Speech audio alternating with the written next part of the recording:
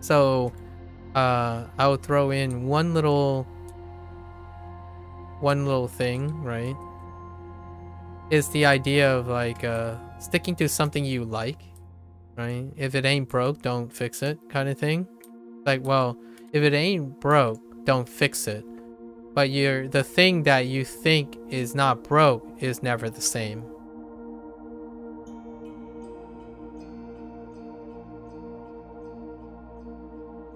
And that creates a paradox.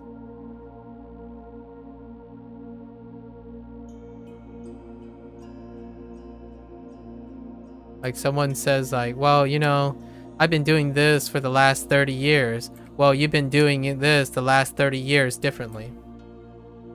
It might not seem like it's different because you're not focused on seeing the differences. You're focused on preserving the similarities.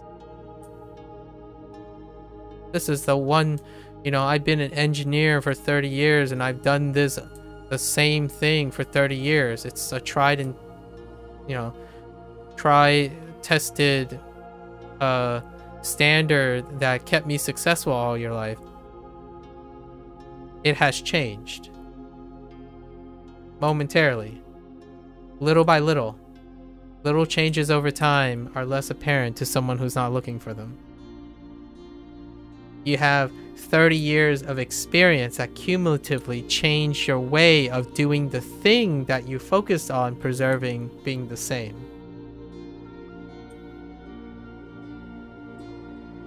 There are very few people on this planet that has their brain biologically somehow have the capacity to remember even it would be pretty impressive actually to remember 30 years of identical repetition. I I honestly think it would be impressive for someone to do something I live 2 days identically. Can you possibly even live 2 days identically? I would love to see that. What that looks like. A video game? Possibly. Like, it's the closest thing. Like, a closed system is possibly the closest thing you can get to rep repetitiously doing something near identically. But anything you, uh, any more dynamics than that, and even a video game is very difficult to know because you won't feel the same every single day. There's a, there's a hand wavy generalization of how you feel. So today, to wrap it up, this little digression, um, is the eighth week of Spelljammer. And it might seem like I'm doing the same thing, but obviously I'm not, right? And I choose not to make it the same. And you, most people, can also choose to do so as well. Is it overall going to increase your happiness and your consistency in your life? I like to believe that, but I'm not selling life hacks here. I'm just talking about observations. Uh, it is up to the person or the stranger or myself, my future self, to, de to determine if there's something special there. And one day I'll look back and think to myself, well, I can't possibly understand everything that I was going for in this digression because I did clearly didn't express everything that's going on in my head. But you know what? I like to believe my future self is going to think, yeah, there's definitely some merit to my to the stranger's uh, perspective on on the dynamics of memory and how it uh, affects our decision making or you know pretty much everything else right because the learning process involves encoding new memory and then using that memory to develop skills that pretty much shape everything we do.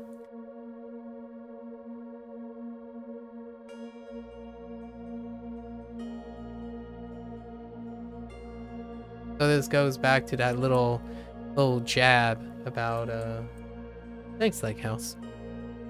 This goes uh towards that uh, jab about how someone loves a story. Like say you love your grandfather's story. They he sits down with you at night. You're about to go to bed. You're just a wee little young young lad, right?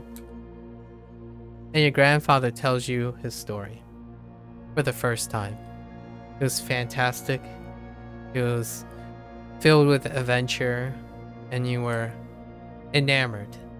Fast forward 10 years, your grandfather wants to tell you the story again, but this time for the 100th time. Do you enjoy it again? Do you think it's the same? How do you feel about it? Maybe you find it boring, right? Now you find it boring.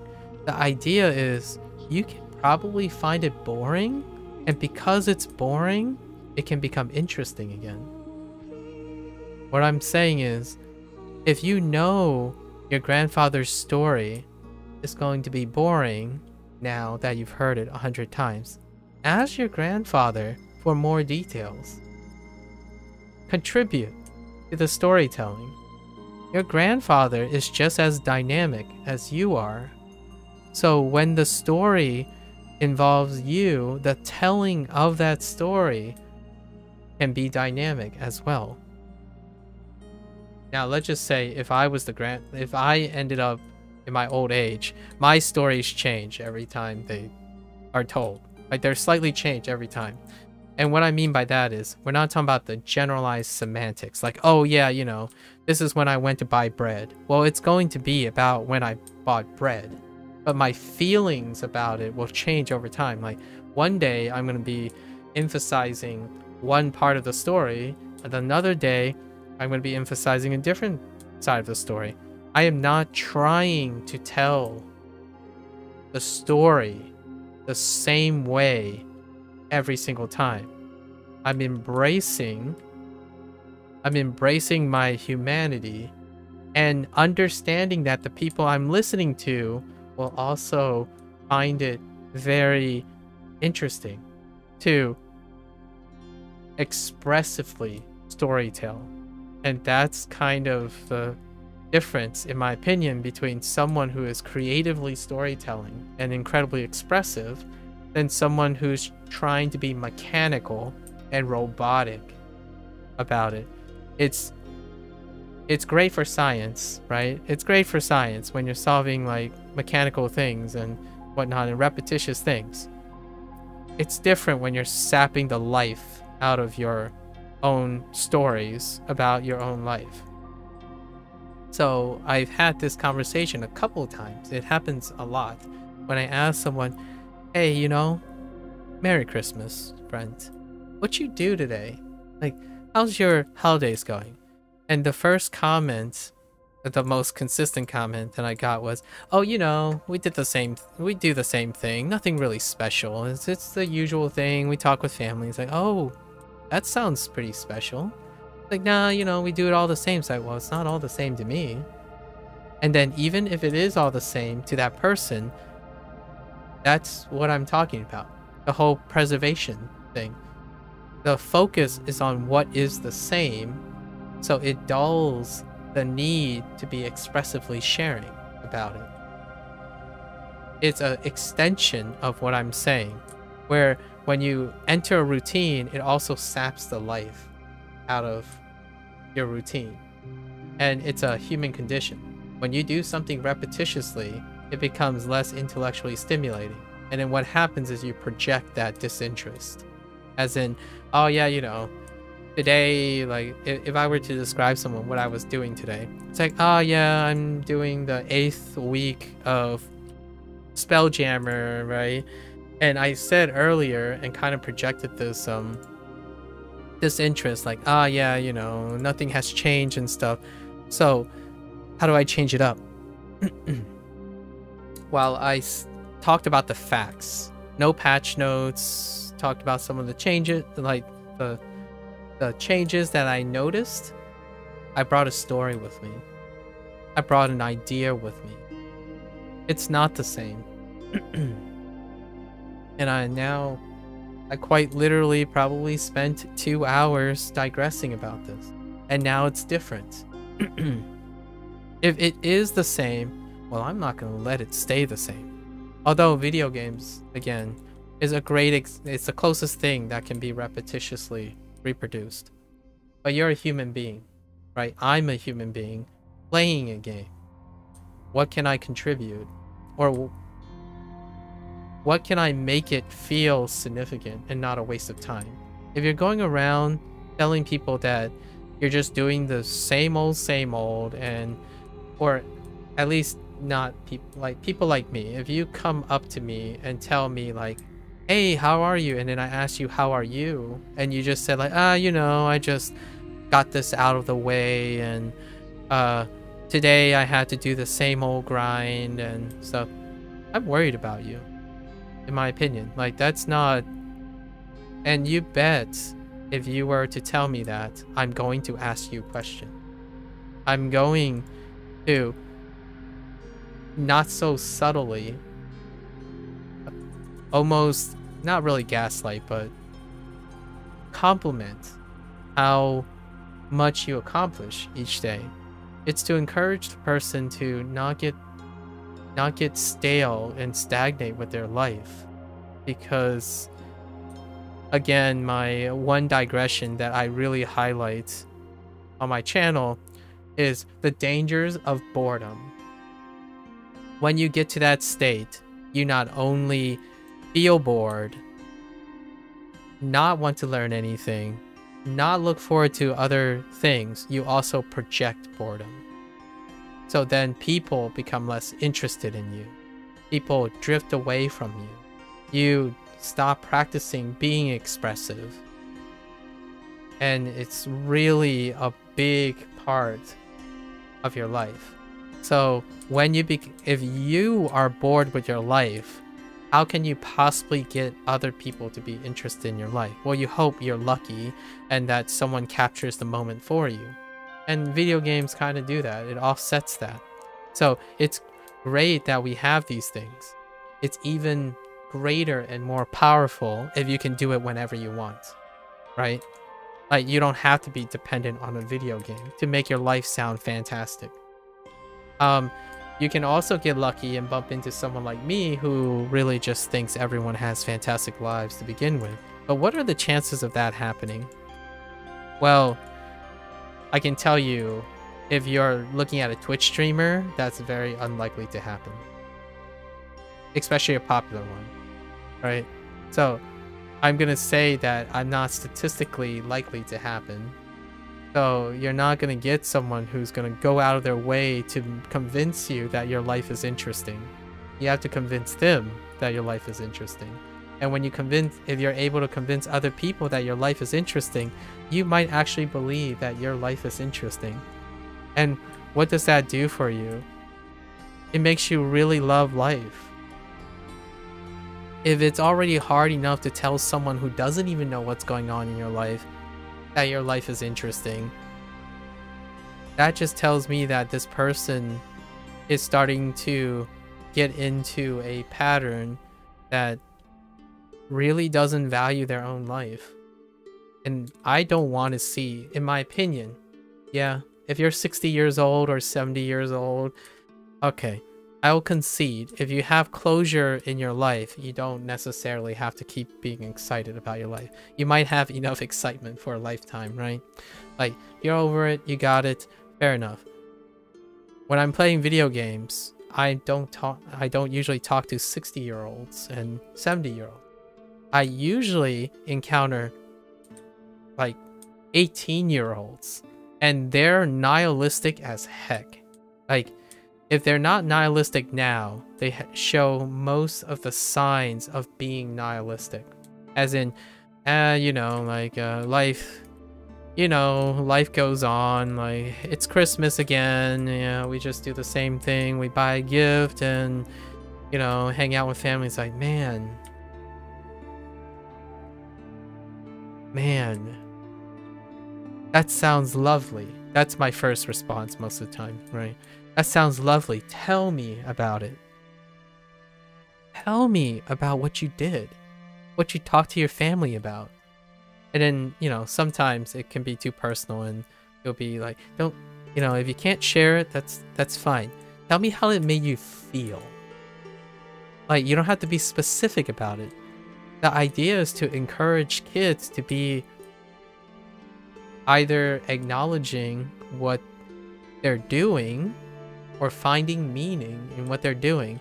I literally had someone tell me online, it's there, by the way, it's recorded, that someone told me that, hey, you know, this entire group of people who has this hobby that ranges up to millions of people, millions of kids, are just young kids who don't need to understand they can find meaning in things that don't have meaning. Like, that guy is someone I encountered. Like, well, if you go around thinking that about other people, man, I can't imagine what it's like to live inside the person's head. Where they have to go around and make other people's passions and stuff insignificant to them by passing it off as a gaslight. I yeah, sure. I I, I respect that you don't think it has a meaning, right? It doesn't have a meaning. That's fair. All the power to you. Well, to your perspective, I'm producing a meaning where there isn't one. Can you do that? Because it doesn't look like you can. So one day, you're going to find that your life is dull and all you do is go around and try to rain on other people's parade and you can't even find satisfaction for your own significance. So, whether or not that person was trying to be harmful or not, I'm not concerned with that. I'm more concerned for the person's well-being because if a million people are playing a video game and you're suggesting it's not significant, it doesn't have any meaning, especially problem solving, then you're really out of touch with reality. I mean, there are less people playing Neverwinter, for example. It wasn't about Neverwinter, though. Um, I wish everyone to find significance. I mean, that also implies that I hope that people who are malicious, right? Here's the, here's, here's a very big caveat here.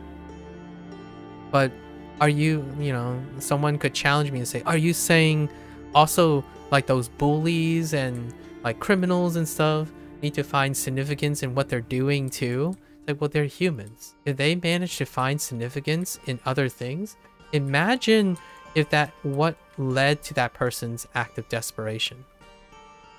It's a more of a chicken or the egg question now. If this person, if that criminal or that person, that troll or what have you, were cyberbullying, if they found and enabled themselves to find significance in other things, would they have been, would they have become a cyberbully in the first place?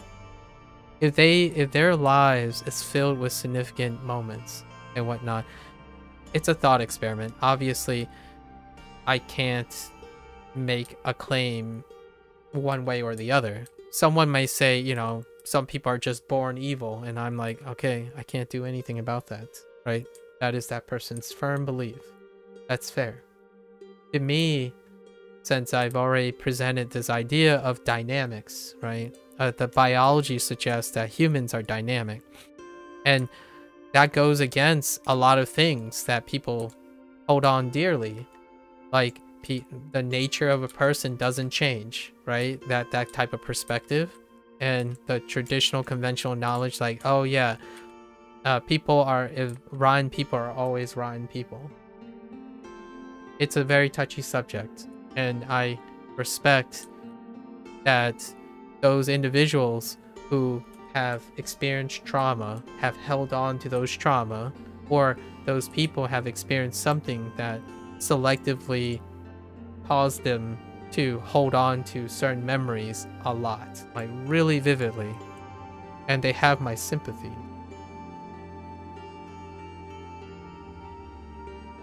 I just live in a naive world, I guess, a very naive, idealistic world. The perspective that the person who has trauma can eventually develop faith in that rotten people can be great people, damaged people can become healed people, and that in an ideal world, both the both parties get to find sustainability and significance in their life. It's not one or the other. I'm not picking sides. I am just living an idealistic and naive perspective that both parties can end up being happy in some way. It's naive. Don't get me wrong. Like, I'm absolutely willing to accept that naive premise. Obviously, if I can accept that it's naive, that means that I have a realistic perspective that makes that not a possibility. I just keep it in the back of my head though. I always want to believe in something, but not necessarily accept that it is true. I don't accept that it is feasible a lot of times. I like to believe it though. So I can stay grounded with the realities of things while being hopeful at the same time. And that's usually where I end up sounding wishy-washy and it's like, well, then that means you don't have conviction and you don't believe in the good nature of people or you believe people are ever-changing and uh, vitriolic. Is that the word I'm looking for? You know, very fickle, I guess. You know, that, that stuff. Like, well, all the above. Above. Just to exchange conversation with myself, I suppose. And for those who may listen in the future, I it sounds really sappy because I am openly a sappy person. Not a not a you know, again, I I've talked about this before. I'm not a thin-skinned person. I'm just sappy. Like I'm horrendously sappy when it comes to these things. Uh But yeah, you can uh, mo most people take it as a I'm not inviting controversy either. Like I don't want to invite controversy. I just want to know that if someone disagrees with me, I hope they're happy. like if if insulting me uh, gives them value and reinforces their uh, convictions, then that's fine. It doesn't really hurt me that much. I, I, I don't think it hurts me. It actually might act motivate me, inspire me to uh, look for new ways of presenting ideas. That's what happened this week, by the way. Like, you know, it's getting... Uh, the next time we play Neverwinter is going to be after the New Year's, right? So this is effectively, right, the 26, six days from now. Yeah, it's going to be after New Year's. Um, this is effectively my reflection on this year. I don't usually uh, do, uh, maybe in the future if people are interested, but I don't usually do like yearly reviews or something because I naturally do reviews every time I do projects.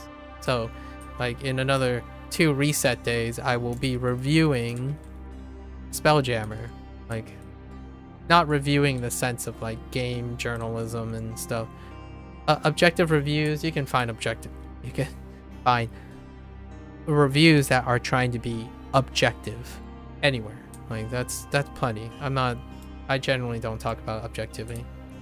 My uh, I spend most of my life in objectivity, and I certainly could appreciate what it's like to aim to be objective nowadays, I think there's less and less appreciation for what could be for someone versus what is for someone.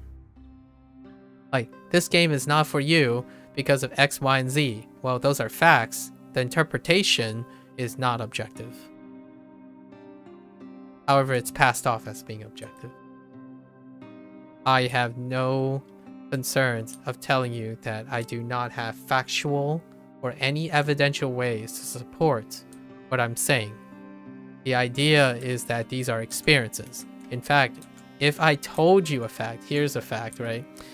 To relate to what I've been digressing about today. If I told you a fact, that fact might not be the same the next day. Because facts are based on people's memories. Facts are, you need to record it and read it again. However, tenuously, when you're remembering those things, you're going to use them for different things. Like you're going to interpret them differently from day to day. Like it's going to change relatively. Like one day, the fact that you have is probably non-changing, but your opinion about the fact, your interpretation and your mood and how you use it or going to apply it is going to change based on your mood. Because you're just human. And it's great.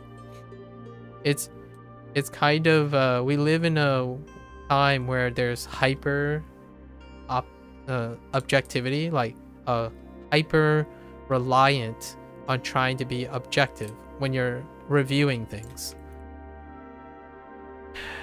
Let's just take a step back and think about how oxymoronic that comment is.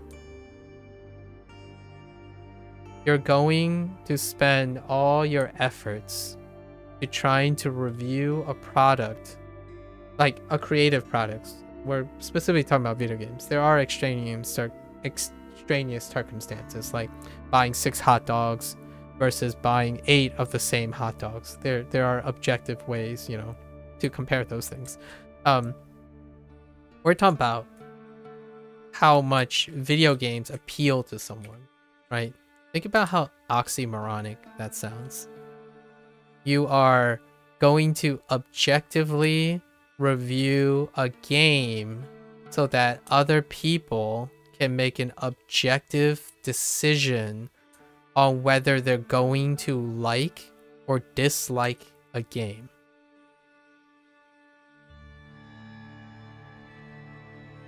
The hyper objectification of psychological behavior and preferences is a symptom, in my opinion, of how YouTube algorithm and you know like the automation process works. Yes, automation is great. It creates consistency. I'm all for that. I'm just talking about the philosophy of this. Like you are trying to objectify how much people are going to like or dislike something? I'm not, I'm not sure. I'm not sure. I, I might need to say that again one more time, right? You are going to objectify something that is inherently subjective and try to present it as object objective while subjectively presenting your interpretation. So it's, it's a little weird. I know I said a bunch of words a couple times back and forth to make it sound confusing, but it is confusing, at least to me. So you're trying to objectively, well, you're trying to subjectively present your objective argument about people's subjectivity. That's bold. And, um, you know, you know why there are like 8 billion reviewers and critics and whatnot? It's because it's inherently inconsistent. And that's kind of part of the charm, in my opinion. I'm not saying it's a bad thing. It's actually very charming. Like, think about it. When you read a review, what is the charm of trying to read someone's subjective interpretations of objective metrics? It's an exercise in futility, but here's a spin on it. It's also an opportunity to get to know someone and form a parasocial relationship with people you desire to have a parasocial relationship with. You can learn about that person through their piece. So instead of focusing on the value of that particular review, you can discern if this person has similar perspective that you do. So in the future, that parasocial relationship that you have with this person can be reliable indicator of something that will save you decision making. I've already used an example like that today. Hank Green and John Green. I feel that I have a sufficient understanding of them that when they suggest something and interpret something, right? I am probably consistently likely to do the same thing too. So when they raise interest in something, then I will naturally be interested in that thing too. And that's kind of what the YouTube algorithm is trying to do, right?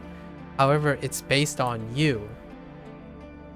So, and then it enables you to need to have the skills to do that in return. So what the YouTube algorithm is removing is that process. The process of looking to see if this person really is for you. Null hypothesis testing. When an algorithm suggests a video to you, do you ever ask if this video is appropriate for you? Or in what nature is this uh, concordant with your interest, right? So a lot of times people just don't ask, they just click. And then let the person behind the frame convince you that it's important, right? So you don't need to work hard or put in extra effort to determine a null hypothesis test. When I see YouTube recommend things algorithmically to me, I ask myself, hmm, do I really find this stuff interesting? Or is it interesting because I just see a lot of it because the algorithm is telling me, uh, is mere exposing me to it, right? That kind of thing. It's like walking out the door, right? Or visiting a cultural hub, like visiting New York City. You're going to be exposed to things that you ask that question to yourself. On the internet, though, it's usually based on statistical parameters. And those things are likely to already have convinced you. It's like, ah, yeah, you looked up a lot of bunny videos, so here's more bunny videos. So it's distilled to the point where, well, you don't really ask yourself that question very often. Therefore, you don't practice that anymore. Uh, what is a great trade-off of this? becoming poorer and poorer judge of character. Because if you don't practice it in parasocial relationships, what happens when you prac what happens when you actually go out to form a relationship? Well, you haven't practiced it. So, what do we have? Here's a deep cut that I'm not going to go into, just as a primer. You have younger generation of people who think that relationships and compromises and communication should be as easy as the algorithm matching you up. There's no compromises, no learning to love one another, no I can learn something from you, you can learn something from me. It's more, why isn't this easy and just work out on its own because there's a rating system or some sort of metric that brings two people together. And a lot of times, you know, I try to counter this by saying, hey, I fell in love with things that I didn't even know I wanted. I developed skills that I clearly didn't go out of my way to do in the first place. There's no randomness. So, how is this important? When your life requires randomness, that is why it's important. What is a great time to practice these things? This is was this was the theme of my week of digressions. When is it a great time, logically speaking? We're not talking about emotional stuff now. Logically speaking, what is a great time to practice or life-changing decisions when they're trivial. So what is a great time to practice being a better judge of character? When you're watching that influencer and challenging yourself if that influence if you how much you know about that influencer through their content. Because like if you get it wrong or you did something and you misunderstood them, it's a parasocial relationship. It's one-sided. They don't even know you exist. Yet. Right? So it hasn't become serious yet. That's a perfect time to practice skills that can't possibly harm you at the moment. It, it might harm your pride a little and, you know, like, it might get you down low. It's not going to ruin two people's relationships with each other, like literal relationships. So video games is a great place to do that. And that was the theme.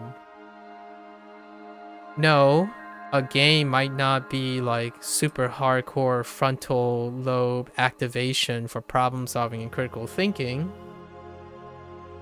And that's the whole point. You use video games to practice these things. The, la the last thing you want to do is make a life and death situation, like life and death decision after not practicing making decisions for a really long time. It's the difference between being responsible of getting into a car under the influence than not. A person who has made lots of quote unquote self imposed significant decisions while doing other things like playing video games or what you have for lunch will treat and likely have the skills to make incredibly important decisions when they come up. So if life is going easy for you, it's a great time to take up a challenge. Because you're, uh, you're in a great state of mind. You're in the ideal state of mind to take up more challenges. So let's just double back to Neverwinter now what is a very great opportunistic moment to get better at video games. Like, or develop a higher literal value of yourself with accolades. Hope that Cryptic changes the system again next module. Because if you can deal with that in a video game, then when some real stuff hits you, you know, some harder stuff hits you, you've already practiced that.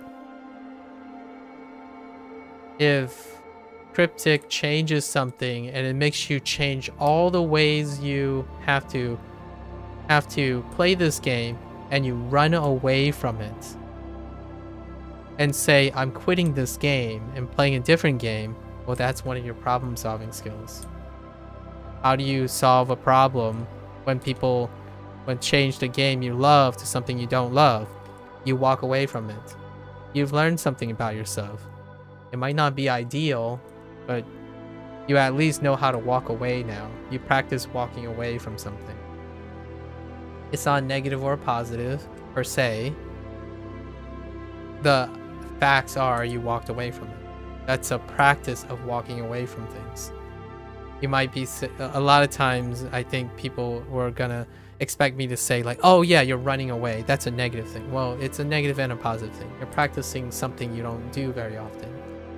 Uh when is having the ability to walk away very useful? When you are addicted to something and that addiction is killing you